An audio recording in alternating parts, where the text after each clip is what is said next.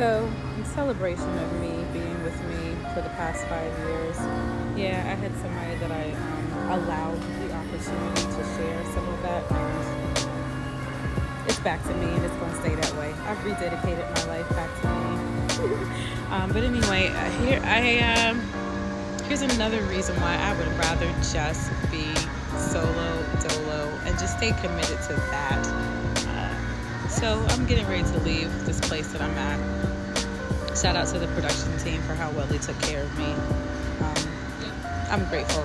It's been a great birthday. So um, anyway, I'm sitting outside and I'm waiting on my ride to get back to the airport. And there's a couple sitting next to me, and I mean the dude is just disrespectfully staring at me. He's with his girl and I'm feeling so bad for the girl. Like I'm just like feeling so bad for her, and I'm giving her a look because she's looking at me.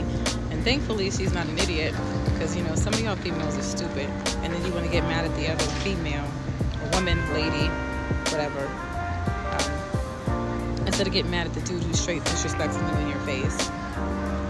Uh, and their car comes valet comes, drops you know the car off, and they get up and he's still staring me on the way to the passenger seat. This mother sucker gets in the passenger seat, y'all. Leans the seat back and he is chilling while his girl, I mean, she is so beautiful. She must not know it.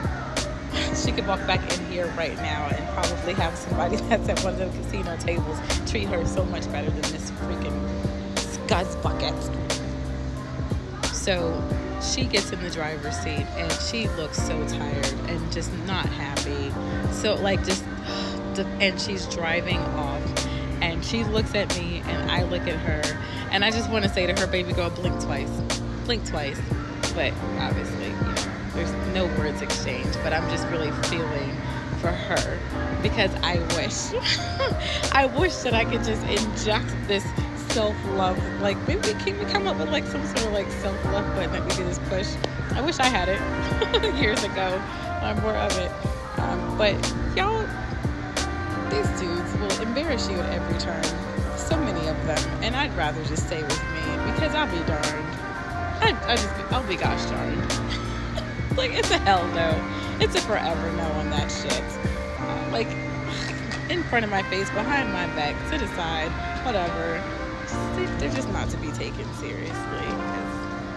Disappointment, disappointment, disrespect, heartbreak. Like this happened in her face, and I'm still like I have secondhand embarrassment for her because that was just so not right.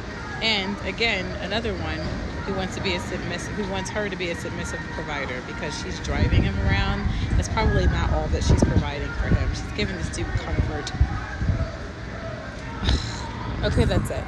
That's all. Thanks for coming to my TED Talk.